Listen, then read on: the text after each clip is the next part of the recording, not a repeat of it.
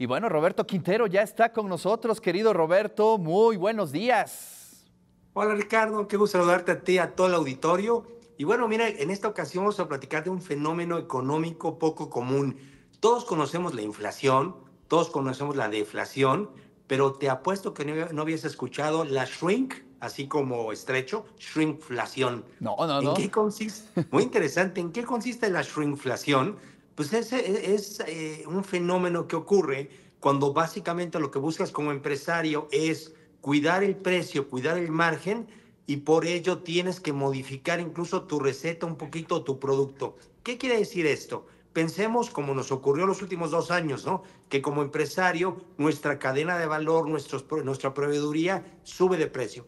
Pero tú te, vas, te, das cuenta que por un lado no puedes subir ya el precio al, al cliente, te sales de mercado. No sé, pensemos vendiendo a, estudiantes o a empresarios o a más de casa, pues hay un límite que si subes el precio, una buena cantidad de los clientes ya no te van a consumir, ¿no? Y por otro lado, si no subes el precio, pues simplemente tu margen de utilidad este, se reduce, que también no es lo correcto, ¿no? Eh, eh, las empresas están para crear valor y uno de los valores es el valor económico, ¿no? Entonces dices, ¿qué hago, no? No puedo bajar la calidad. La shrinkflación es un fenómeno en el cual le bajas al gramaje. Y yo creo que lo hemos visto muchas veces en restaurantes, lo notamos mucho, ¿no? Que llegas y ahora, pues ya no son tres enchiladas, son dos enchiladas y fíjate que muy interesante, ha habido casos como el Toblerone, ni nos dimos cuenta, pero hace 20 años pasó de 200 a, 170 gramos, eh, los tés bajaron de 100 a 88 tés por cajita,